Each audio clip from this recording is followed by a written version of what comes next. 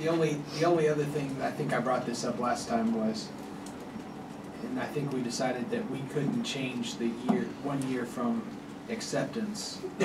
So we'll basically be dealing with the one year from whenever the licenses are actually issued, right? Right, that is written into the amendment, that that's, that's the expiration written in, so that would be a legislative change if, if any.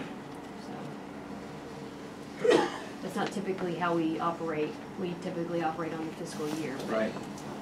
um, unless that's changed, we'll, we'll adjust. Is there good reason to try to make it operate on the, the physical year for the state?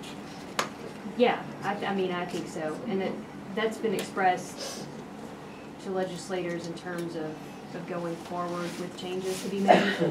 Um, Simply because it allows you to plan for the year with budget and things of that nature, and it just is easier when you know everything is coming due at a certain time, Right. so.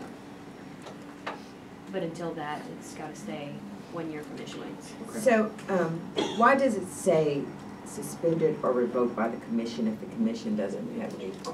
I, So, we need Cler- to, Clerical error. yeah, it should That's say clear, okay. division. That's, I just that's, wanted to make, that's on us, not on ABC. Okay. Okay, I just wanted to make sure that we don't have to do that.